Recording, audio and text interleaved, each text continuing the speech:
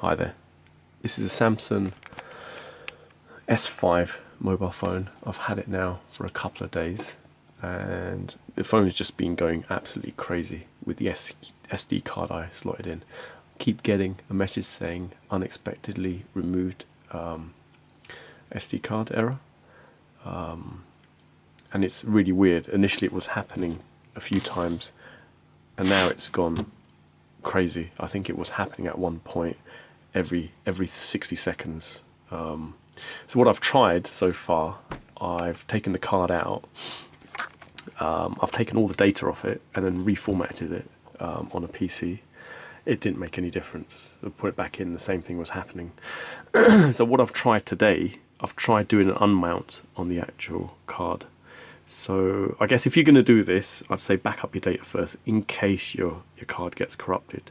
So let's go settings, um, find storage. So what I initially did, I did an unmount. Yep, there you go. The card's unmounted.